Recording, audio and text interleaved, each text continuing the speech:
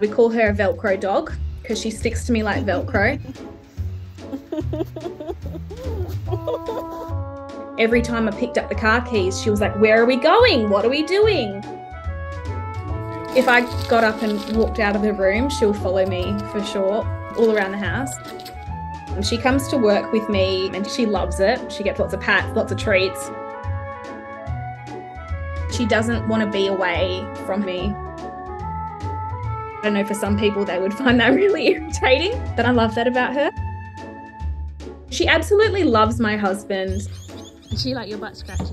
And he's amazing with her. But unfortunately, she has picked a favourite, and it's definitely me. Sadly, Lily was a racing greyhound for two years before she was discarded by the industry. We were really lucky that they decided to put her up for adoption. So the day that we met Lily was really special. She came bounding up to us towards the fence and she immediately connected with us. And then in those early days, the cat um, crawled up next to her and, and sat down near her. And I think she just looked at me like, is this family?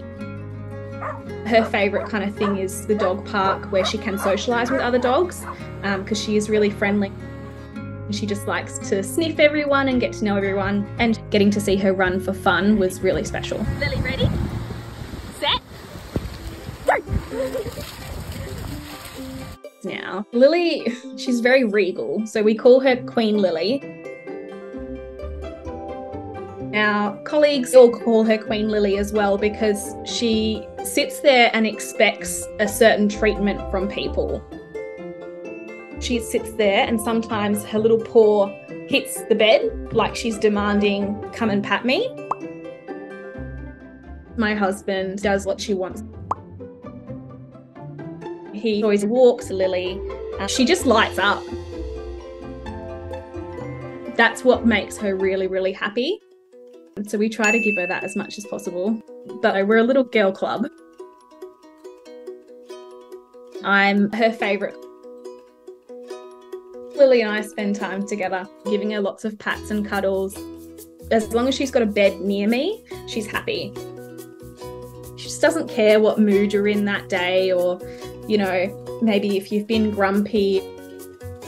She still loves and accepts you no matter what.